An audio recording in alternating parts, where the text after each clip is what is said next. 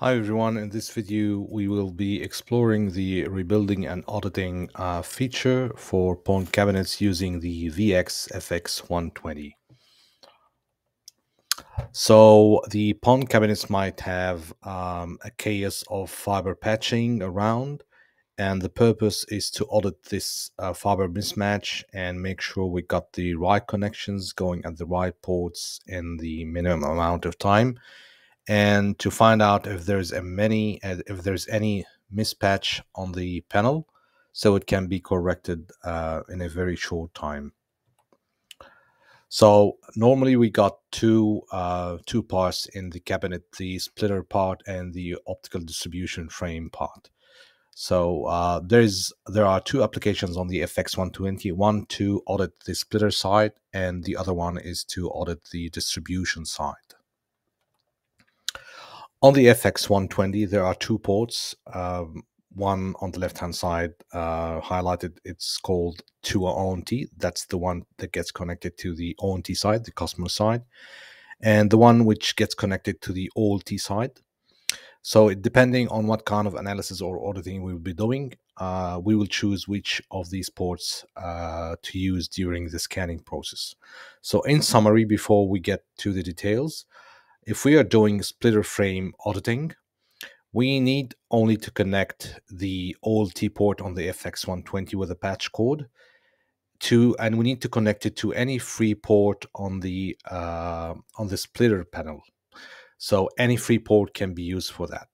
But once we connect that patch cord to the free port, we need to keep this connection untouched. So during the whole process, we will keep that patch cord connected to that free port. Um, now, the other type of auditing, which is the distribution frame auditing, and for that setup, we will be using both ports, not only the OLT port on the FX120, but both the ONT and the OLT ports. And we will see uh, how to connect each of these during the scanning process for the distribution. Now, let's get into more details in the next slides. So for the splitter analysis, um, we will be using only one port on the FX120, which is the OLT port. And we will just use a patch cord coming out from the OLT port on FX120 and connect it to any free available port on the splitter side. And the reason we, we say any free port simply because the splitter, the outputs from the splitter are all identical. It's just a matter of splitting the signal they are all copies from each other. So it doesn't really matter where you connect to. You just need to get a sample or a copy out of uh, these signals. So uh, find out if there's any free port, connect to it, leave it, uh, leave it. It will not be touched during the next steps. Now go to your FX120 and you should get two applications. One is called splitter analysis, one is distribution analysis. Since we're doing the splitter analysis, we will uh, select the splitter one application and then it will ask what type of panel we will be testing. So it gets to understand the construction of that panel, uh, how many ports, um, rows and columns and cassettes and numbering and uh, uh, alphabets. So it depends really from one panel to the other. So you'll find some um, profiles there to select from. If you're if you can't find the profile of your panel, it's easy to implement and import the panel type and the structure of the cassettes into the FX120. So we click, you start um, by clicking the start button on the FX120.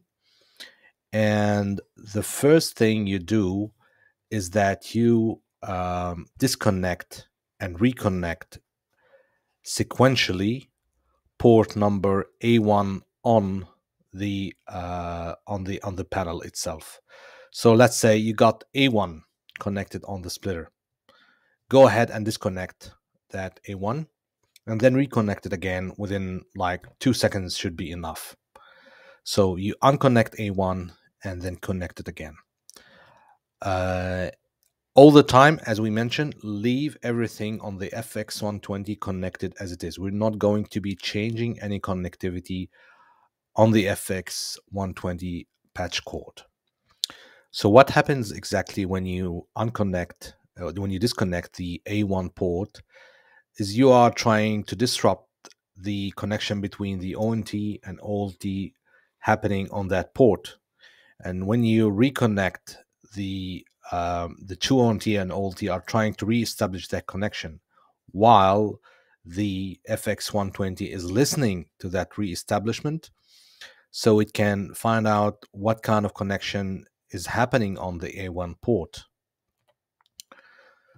So uh, the reinitiation of the signaling between ONT and OLT will make the FX120 able to capture the SSN serial number and the PON ID between the ONT and OLT while they are um, negotiating the signaling between them. Remember, FX120 is connected to a free port listening to what's happening um, out of the splitter, which is a carbon copy from all happen uh, from all the signals happening on all ports. So, um, just to um, uh, simplify these symbols for you, we got O, N, L, three dots. So the three dots means that's the port the FX120 is listening to now. So assuming you progressed up to uh, port A5 on the splitter panel, now the FX120 will display three dots on A5. That means FX120 is listening and waiting for something to come up in the signaling uh, between between the ONT and OLT. If the serial number has been detected, it will be captured by FX120 and automatically the unit on the software, the FX120 will progress forward automatically to the next position, which is A6, for example. And it will wait there and listen again until you restart the uh, restart the connection on the next port, which is A6. So the three dots will continue to be there until something is being captured. If there are no connection happening on that port, you can simply choose uh, to make an N, which is a user intervention here saying no serial number. So you intentionally make that no serial number push button so you can highlight or tick that port to be a no serial number identified because the unit has been waiting and nothing came up. L means it's an empty port. So by default, the unit will assume there are no ports because we are doing an auditing and a scanning from scratch, from A1 down to the end of the panel. So everything will be by default L. And as we progress during the scan, we will be able to identify what's actually on that port. Is there a signal? Do we have a serial number? Or is it an empty port? So the unit is listening and waiting on the three dots. L is an empty port. Now, if you know beforehand this is already an empty port, it, it doesn't make sense that you will be connecting or disconnecting anything on that port. It's already empty. So you just uh, take the empty, you just click the empty button and the unit will uh, flag that port as an L and move automatically to the next one. Now, let's assume during the scanning, you want to skip some ports because you know these are all empty. So, for example, you want to move from, you want to skip the B6 down to D8. All these ports you want to skip. Uh, so you can simply click on next split. Next split, that means you are skipping the whole cassette because you will be starting from the E1 Remember, we said it ends, we are skipping from B6 down to the D8. That's the end of the first cassette. So when you click next split, that means you are skipping the whole cassette and starting the new cassette from the E1. It depends on the structure, of course, of your panel and your frame and your rack. So the unit will simply flag all these ports that you skipped as being empty. And the unit will progress to the first port on the next cassette, which is the E1 in our case here. And it will wait there, listening and waiting for the user or a connection to happen. So you start repeating this process until you finish the whole set, uh, the whole set of ports on your panel, and then you get a complete list of what was connected and at which places. Let's assume the user would like to step back uh, in case he's suspect you're suspecting that um, you did something wrong or you're not sure about what happened on an earlier port. So you can step back one port at a time to redo the check for that port by clicking the previous button. So the unit will step back one port, wait and listen until you uh, disconnect and reconnect that port physically on the panel. But once you want to resume back, you can't really resume back and skip like three or four ports forward. You will simply resume to the next port again. So when you say when we when you click previous, you are stepping back one port at a time. You click previous again, that's two ports. Three previous, that's three ports. So in that example, we are the unit is listening at A5 and you want to jump back to double check on A2. So you simply click on A2, the unit will wait and listen until you uh, disconnect and reconnect the A2 port on the panel. Once it's finished, the unit will redo A3 onwards because there are chances that you also you might also did a mistake or there has been a confusion on all ports backward from where you stopped at A5. So A2 to A5 needs to be redone. That's highly recommended. Once you complete the job, the unit will export a CSV file containing all the information captured during the scanning process. So it will show you the rack number, the position uh, in that track, what has been captured, if any, the serial number, and the PON ID. So a perfect situation is that you got the right serial, you got serial number, you got a PON ID at the right position uh, an incorrect situation, you got a serial number, a pawn ID, but at the wrong position. Uh, another information you can get a ID, but no serial number. Another scenario could be an empty port. So you got the different scenarios listed in that file, which you can compare to the database uh, of the uh, as built uh, uh, coming from the commissioning of the network. That was for the splitter analysis.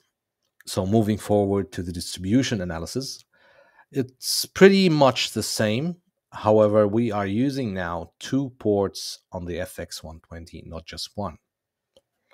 So click on the distribution analysis app on the FX120 and you will load uh, the panel type and we start using the FX120.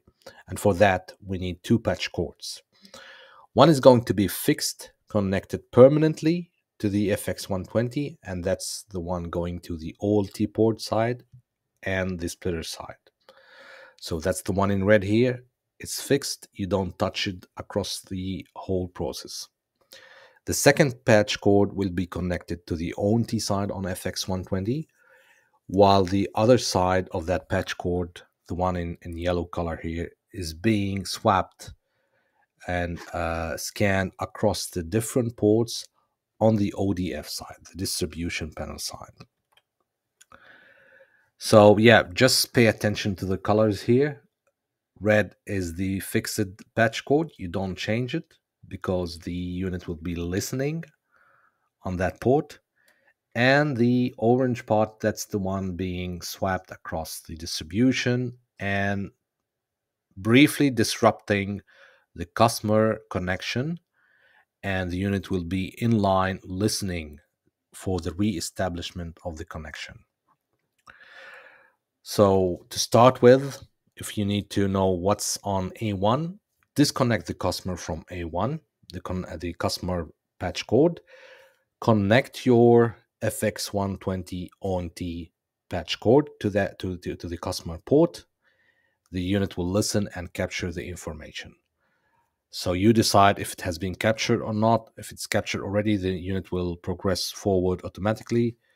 If it's still listening and waiting for a long time, then you need to do something. You need to uh, uh, tick it as a no serial number or an empty or just skip it. So O means that information has been captured. And when you click on O, that means that it will show you the SSN and PON ID.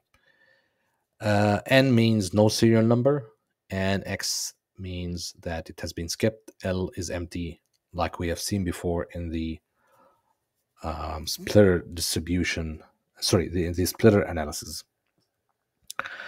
So once you capture the information on A1 and the unit uh, goes to A2, now you are good to go to reconnect your customer on A1, which got disrupted for a few seconds. And now you disconnect the customer on A2 on the panel. So you can go in with your ONT patch cord connected to the FX120 and that's the process you need to repeat across the whole frame.